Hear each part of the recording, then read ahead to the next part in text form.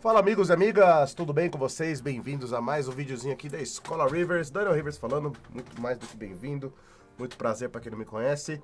Deixa o like, se inscreve, ativa o sininho, porque olha lá, a gente está preparando um monte de tutorial, gente. Já já a gente vai estar tá soltando, né? A gente tá indo com calminha aí, porque, né, tem um monte de coisa pessoal para resolver, coisa da escola, coisa da produtora. E, enfim, vai dando. A gente vai pegando os tempinhos de.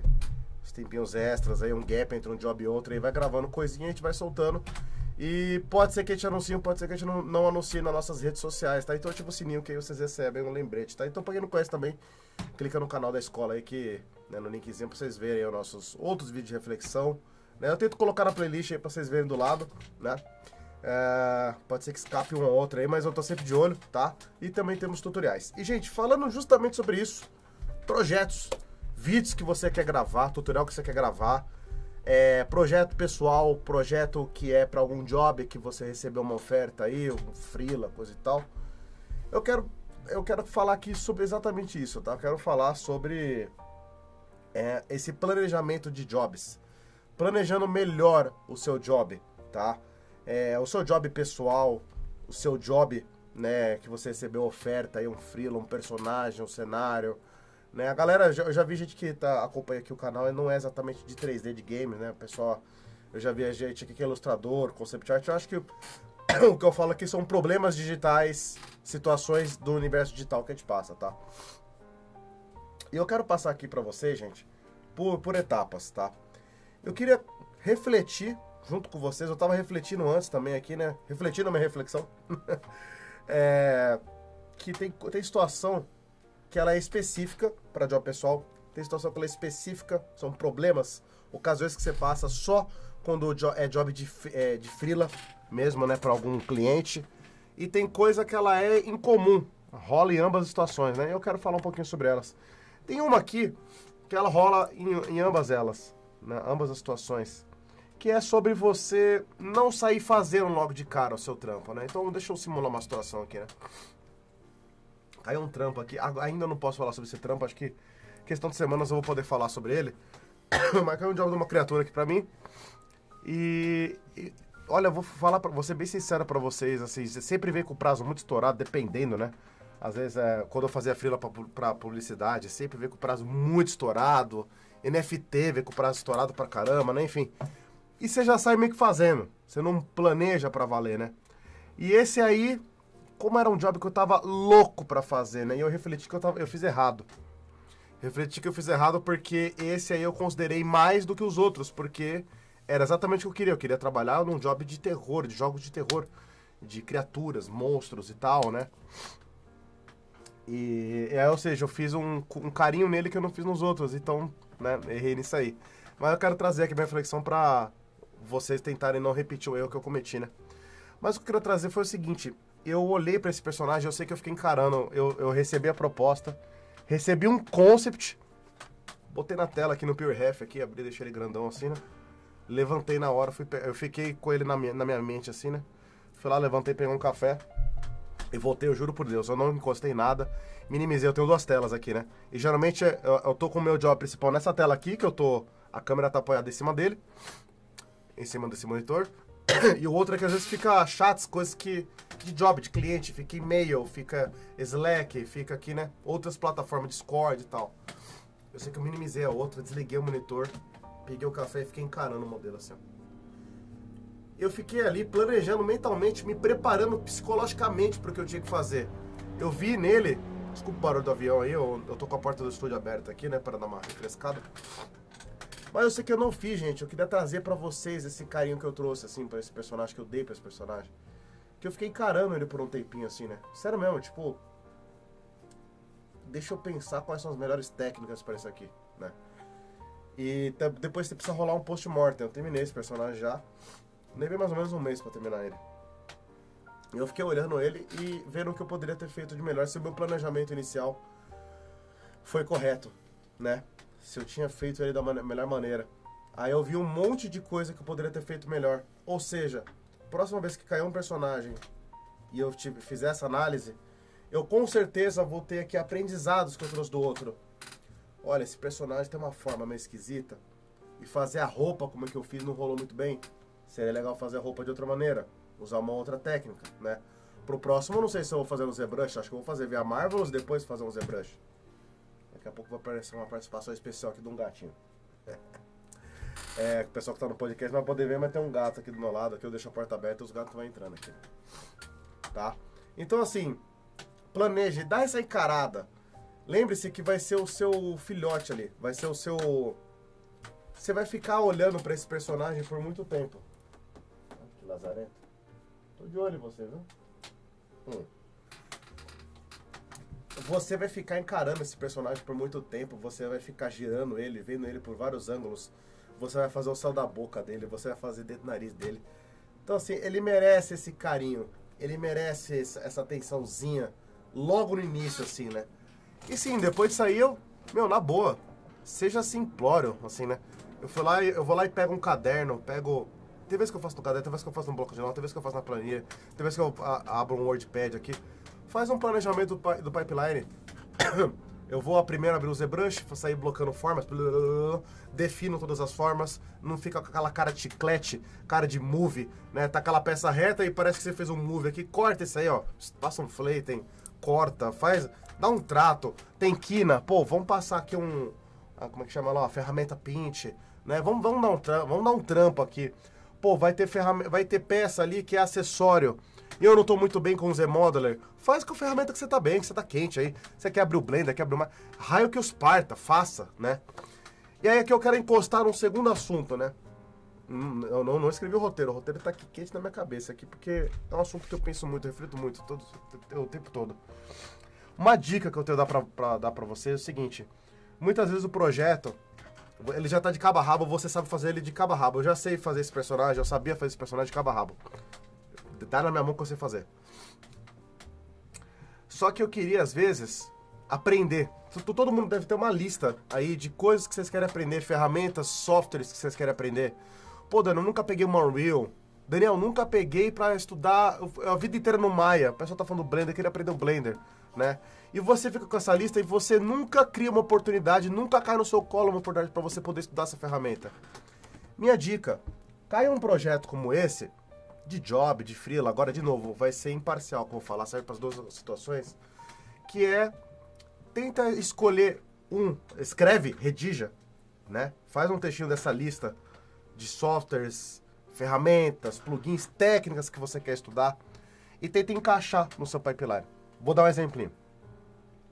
Eu tô meio frio com Marvelous, né? Caiu muito pouco job esse ano para mim de roupas de personagem. Então eu dei uma bela, bela de uma enferrujada. Aliás, faz mais de um ano assim que não cai um job quente para mim de, né, de, de roupas. Então eu vou me virando com outro tipo de ferramenta, né? Olha lá, ela encarando lá, tá vendo o reflexo dela, o gatinho? Né? Vai pedir carinho. Vamos lá, participação especial do gatinho. Esse aqui é a pretinha, ó. Pronto, agora eu vou ganhar bem mais visualização. então, gente, uh, o que eu faço muito é isso. Então, por exemplo, no próximo, eu vou tentar desenferrujar no Marvelous. Porque eu poderia estar fazendo a roupa de um jeito que eu faço mais rápido, que é no ZBrush. Pega a roupa, se a roupa ela é um pouco mais justa, eu faço a máscara, extraio ela, transformo no Monta Subtu e fico ali trabalhando nela. Dá para fazer assim? Claro que dá. Para quem mexeu no jogo 3D sabe que dá. Dá para fazer de boa, depois você faz uma retopo e tal. Se você é um bom artista, você é um bom artesão, ferramenta é ferramenta, tá? E aí é o seguinte, só que eu quero, eu estou afim, eu sei que vai agregar para mim eu colocar um, eu ter um melhor conhecimento de Marvelous, né? Então, ou seja, eu posso muito bem pegar e criar roupa no próximo, no, no próximo job eu vou colocar um estúdiozinho de Marvelous. Aí o que, que é legal? você num job que você está entregando para cliente, projeto pessoal, para portfólio, sim ou não, você está aproveitando e aprendendo alguma coisa. Então minha dica é coloquem um pequeno estudo, não coloca todos. Vamos por assim, se você tem um personagem, tá? Se você tem um personagem que ele vai ter então lá, escultura high poly, retopologia, né, fazer a reconstrução de malha, fazer a versão low poly, abertura de malha, o V7 lá, separar os materiais, fazer o bake, textura e depois finaliza, né? Então tem ali 5, 6 etapas, né? Não tenta trocar a técnica do que você faz em todas as etapas, porque um projeto que era para ser um mês, ele vai, vai, virar seis. Então, por exemplo, é, a primeira etapa, high poly, geralmente você faz no ZBrush. Reconstrução de malha, vamos supor que você faz todo, todinho inteirinho lá naquele quad, quad modeling lá, né, no quad draw, né, do, do Maya. Abertura de malha você faz por lá mesmo, distribuição de, de materiais por lá mesmo. Bake, textura no Substance Painter. E finalização, vamos supor que você faz no Marmoset da vida, né? Algum softwarezinho de render em tempo real aí, um, um render, um render evil do, do, Blender, né? Coisa assim e tal. Aí vamos supor que esse, esse aqui é o seu costume. É legal, minha sugestão, sugestão inicial que eu tô falando, opção A, né? É você selecionar uma delas e trocar. Eu, vou, eu não vou abrir malha no, no Maya. Eu quero abrir malha no Redos UV Layout para dar uma lembrada. Eu aqui, Daniel, uma vez que eu, abri, eu usei o Redos faz mais de seis anos, sem zoeira. Então, se dia eu quiser é, dar uma desenferrujada, eu vou usar o Redos nessa parte. Mas vai ser uma etapa só. Porque, ou seja, se eu der uma tropeçada, se eu demorar um pouquinho para pegar a manha de volta, tiver que perguntar para alguém em algum grupo do WhatsApp, do Discord, é só aquela etapa. Agora imagina, a opção B, que eu não recomendo a opção B, é você ter mais de uma opção. Aí vamos supor que B que eu não quero fazer no Substance Painter, Quero fazer ele no Marmol 7. Aí são duas ferramentas que eu tô um pouco enferrujado. O Bake no Marmol 7 ele é simples, né? Acho que eu, usei um exemplo meio ingrato. Vamos falar, pegar um negócio aqui bem, pra mim, a ser bem traumatizante. Tirar o ZBrush no início e colocar Blender Sculpt. Pra quem é Blenderzeiro aí, sabe que dá pra fazer o que o ZBrush faz. Eu sei que dá. Mas aí eu vou ter que pegar e ter uma aula, puxar tutoriais, talvez me matricular num curso é, trocar ideia com alguém que manja, aí chamar assim, fulano, fulano, e aí, como é que é essa ferramenta aqui? Pô, no, no ZBrush tem um Move, onde que é esse aqui no Blender, entendeu? Então, ou seja, eu sei que eu tropecei aqui, finalizei, aí vai lá, fazer a construção de malha, aí o V vai ter que usar outro software? Não, mantenha a sua linha natural. É, não fique enganado, enganada com esse lance de você ter que sair da zona de conforto. Sim, você tem que sair. Mas não mete o louco, filho e filha. Pelo amor de Deus. Não é do tipo, você vai trocar, vai sair da zona de conforto durante o job todo. Porque você vai perder. Gente, e aí eu, isso vale um outro vídeo. A gente, desculpa a palavra aqui, mas a gente brocha no meio do trabalho. Às vezes fica olhando. Eu tava. Nessa, no meio dessa criatura que eu tava fazendo, eu não tava mais aguentando nada na cara dela. E eu sou um cara que eu gosto de fazer personagens e criaturas, monstros, criaturas fantasiosas. Eu gosto de fazer. Mas chega uma hora que você cansa, não aguenta mais. Eu acho que um mês é o deadline. Dois, assim, olha. Vai de pessoa para pessoa, eu sei. Eu já vi gente que ficou um ano numa criatura, num, num personagem. Já vi. Eu faria? Não. eu canso, eu, eu perco aquela vibe. Quando você tá no comecinho, você tá cheio de ideia né? Pô, esse aqui ele é meio undead, né? Ele, então ele tem um, uma pele rasgada aqui. Eu lembrei do personagem lá do Left 4 Dead. Não, mas o maxilar dele aqui tá pendurado. Tipo o filme lá do, sei lá, do Olhos Famintos, não sei o quê. Você vai misturando referência, você vai lá, monta lá um, um Pure Ref, um monte de referência ali e tal. Você sai cheio de inspiração. Essa empolgação, ela é o coração da sua arte. Você vai esculpir com tesão. Você vai fazer todo o seu trampo com tesão. A hora que chegar no Substance Painter, você vai colocar as texturas ali com tesão. Vai ficar foda aqui, eu quero seco, aqui eu quero molhado, eu quero... vai ficar um bagulho muito foda. Eu, Daniel, vocês têm que se conhecer, conhecer o ritmo de vocês. Eu, depois de um mês, eu perco um pouco essa empolgação. Eu, eu ligo o modo robô, preciso entregar. Eu sabendo que eu sou assim, eu respeito a minha data, o meu prazo de validade, que é para não comprometer a qualidade do, do personagem. Que eu não quero trabalhar brochado. Eu não quero trabalhar desanimado.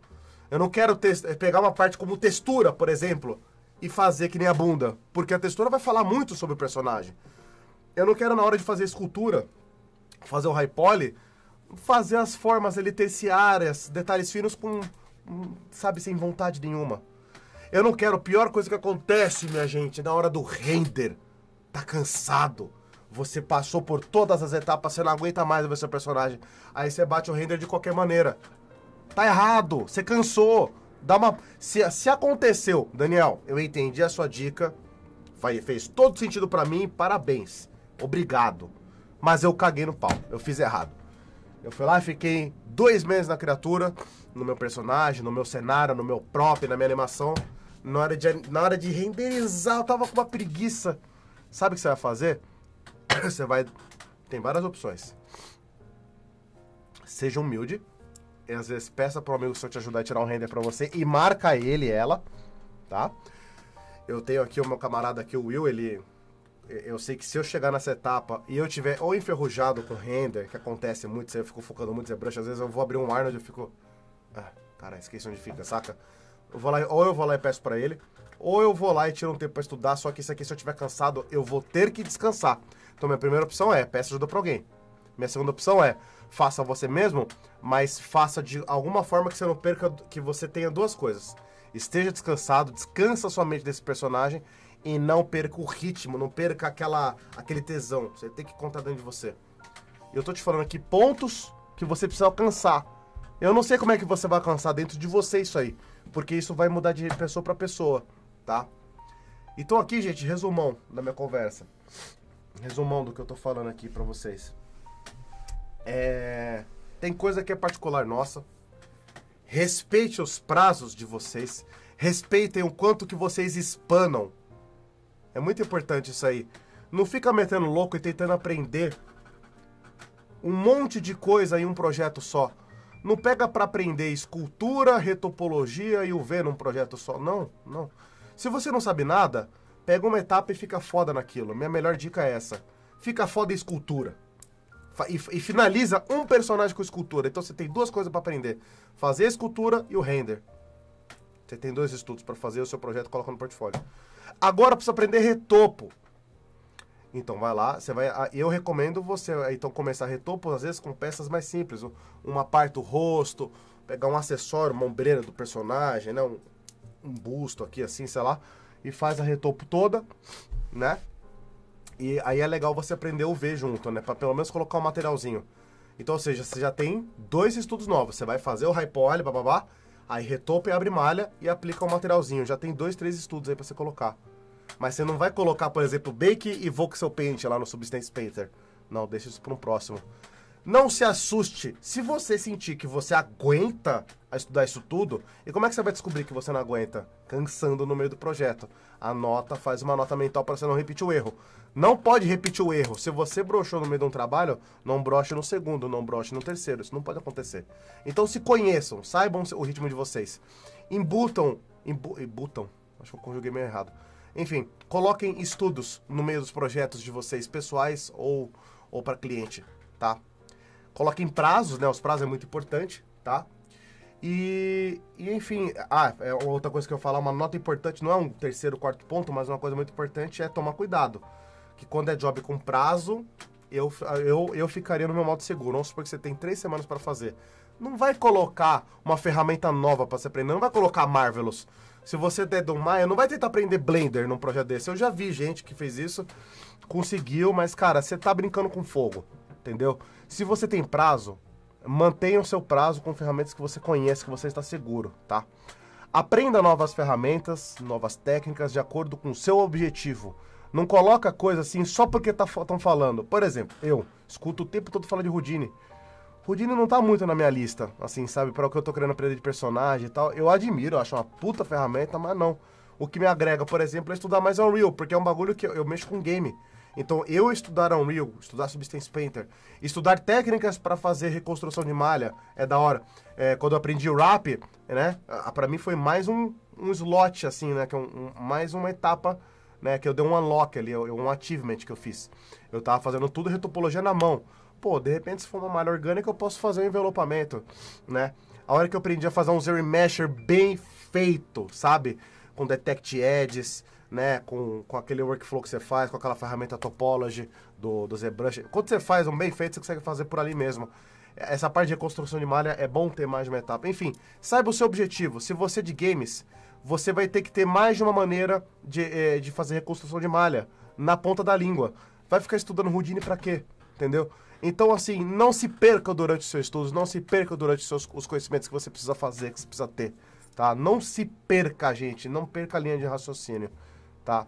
É, por exemplo, tem coisas ali que você tem que ponderar, é pesar na balança, faz uma, faz uma pesquisa antes. Você tá craque, craque no ZBrush, mas estão te pilhando para você aprender Blender Sculpt, né? Escultura no, no Blender. É, é, veja se você vai estudar por embalo ou para te agregar. E eu recomendo estudar sempre para te agregar. Não fica Maria vai com as outras. Ah, só porque todo mundo tá, tá, tá na modinha. Esquece software de modinha. Esquece ferramenta de modinha. Vai na sua, tá? E voltando para minha dica para encerrar aqui, planeje seu pipeline. Faça um planejamento. Olhe para o seu personagem inteiro, descubra todas as peças dele. Pô, ele tem um rabinho de cavalo aqui, assim, ele, tem um, ele tem um mullet aqui, ele tem um, um dreadzinho. Né? Eu percebi que o, o, concept art fez um pelo no nariz dele aqui. Um só. Como é que eu vou fazer? Só espelhinho? Eu vou fazer uma spline? Fica ali falando com você mesmo, banco louco, banca louca. Fica falando na frente do computador. Já costuma lá seu pai, sua mãe lá, fala, ó, pai, mãe, primo, prima. Se você passar na frente do meu quarto e me ver conversando com o computador, não estranhe. Eu tô tentando, é a dica do professor aqui, Daniel, que eu que é para eu tentar, quando você verbaliza em voz alta, você está se preparando melhor, aquelas palavras estão se tornando algo concreto. Pô, o personagem aqui, ele tem uma correntinha, né? Pô, como é que eu vou fazer esse negócio aqui, essas, essa, essa trama aqui, né? Que ela é uma corrente que ela vem para cá, depois ela desce, ela passa por cima, ela faz isso, ela faz aquilo, e ela repete, ela é modular. Pô, mas ela tem meio desgaste e tal. Fica você olhando, reparando, observando, analisando todas as peças do seu personagem Aí quando você terminar de refletir com você mesmo, aí você pega a forma que você estiver acostumado para planejamento. Daniel, eu não tô, não tô acostumado com porra nenhuma de planejamento. Se acostume com alguma. Pega um trelo da vida, caderno, ó. Eu gosto disso aqui, ó.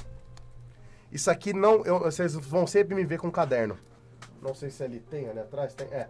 Mas é que eu andei recolhendo assim, mas eu sempre tenho um monte de caderno de anotações, assim, né? Aí quando eu termino um, eu guardo, né? Quando tá muito antigo, eu jogo fora. Quando é coisa de 3, 4 anos atrás, eu jogo fora. Mas ali tem muitas vezes meu planejamento, meu pipeline. É etapa 1, vou fazer isso. Etapa 2, vou fazer isso. Eu, eu, Daniel, gosto de escrever. Porque o meu cérebro meio que sente que quando eu escrevo, aquelas palavras, elas, eu tenho uma, a primeira, o primeiro protótipo físico. Eu consigo pegar meu pipeline. Ó meu pipeline aqui, ó. Eu consigo dobrar meu pipeline. Ó, ó meu pipeline aqui, ó. Entendeu?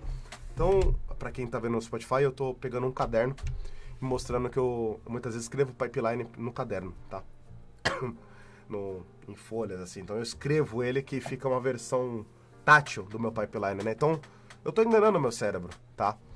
É, planeje todo o seu pipeline. E outra, deixa eu finalizar aqui fazendo um gancho com que um outro vídeo que eu gravei.